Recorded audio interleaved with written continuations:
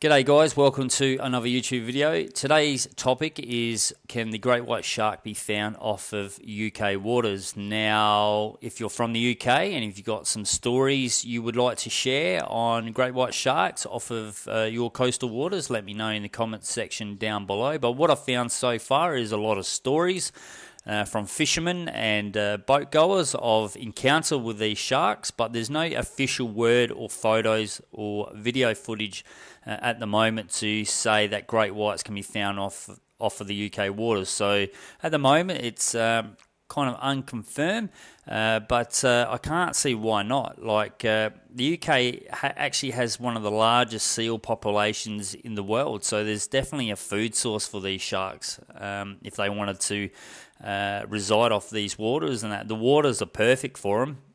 So why not? It's just at the moment, I, I guess uh, these stories until you actually get a official confirmation or photos or videos or even a great white shark that has been caught. But uh, definitely um, something to talk about. And like I said, if you're from the UK and if you've got something to share, definitely let me know in the comments section down below. But uh, I've been just looking over the internet, and mo- most of these stories have been um, stories from fishermen. Um, now, I'll link some of these stories in the comments, not the comments section, but in the description bar down below, and you can go check them out for yourself. But uh, like I said, I can't see why not. Like, uh, it's a perfect um, environment for them. There's uh, definitely a food source for these sharks. So, uh, I guess. Um, uh, you know, one day um, one of these sharks might turn up and someone might actually have uh, official footage of it, or one of these sharks might actually get caught. But there, there is definitely stories out there of uh,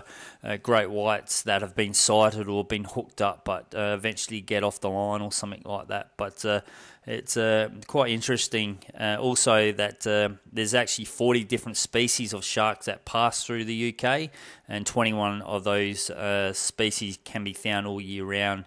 And one of those species as well is the basking shark, which could maybe sometimes be mis um, identified as a great white shark maybe sometimes like that but uh, i don't know. But if like i said if you're from the uk let me know in the comment section down below.